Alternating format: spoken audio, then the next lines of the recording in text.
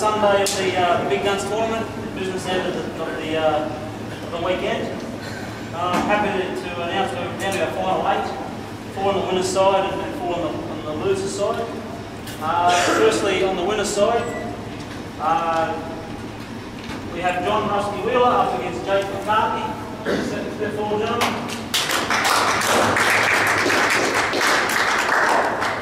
Uh, they'll be playing of 21 to uh, earn, a, earn a spot into the winners' final.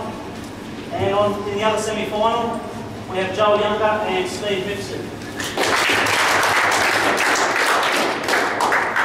Again, best of 21 to make the final on the winner's side. And uh, obviously that'll ensure a smoother journey for the rest of the tournament. On the, uh, the loser side of the draw, we have James Delahanty and Justin Sage.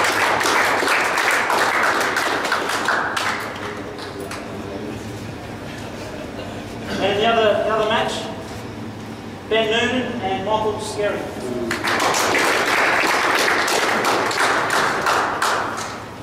All right, just to confirm that the prize money, which I'm sure Benny announced Friday night, we are, winner is playing for $11,000. Uh, second is 4500 third prize is 2500 fourth is 1500 and this year we've, we've uh, included fifth and sixth prize, which is 750 each.